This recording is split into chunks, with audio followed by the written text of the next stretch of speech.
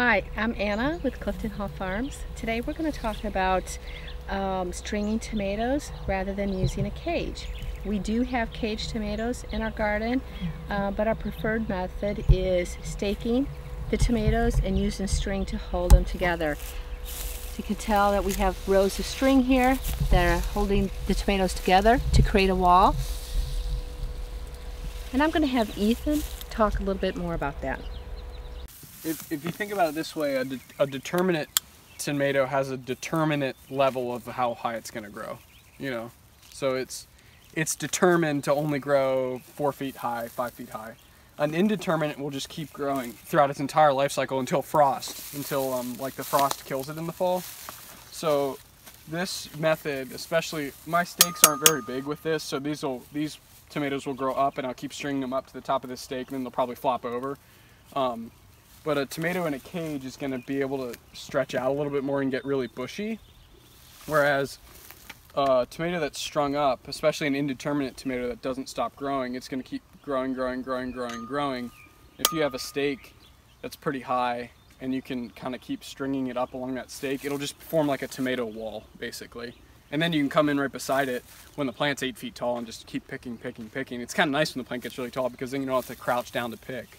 Um, you can kind of pick tomatoes at, at eye level.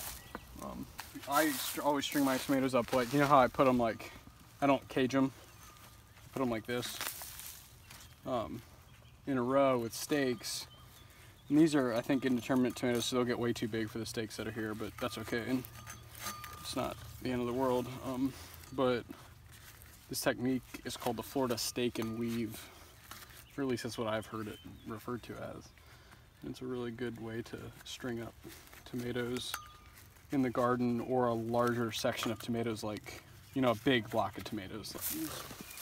Bring a string in here, really close to the plants, and uh, then kind of looks like you're brushing right up against them, you are.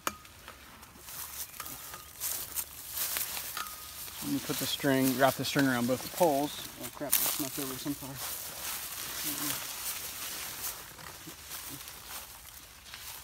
And see how it just like, it straightens up those tomatoes so they don't flop over as much. Um, you never want to do it above where tomatoes aren't like peas. So you can't string above where the tomato plant actually is or it won't like find its way quite like a pea plant would. You know, peas have like little runners and feelers that seek out anything above them. That's why you can have pea trellises that are quite large from the get-go. You just plant the peas under. Go up here. That's a bummer. I knocked over that sunflower. That's okay. It's pretty.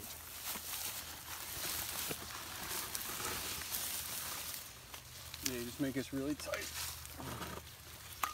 You see, you just see how those plants are nice and tucked in now.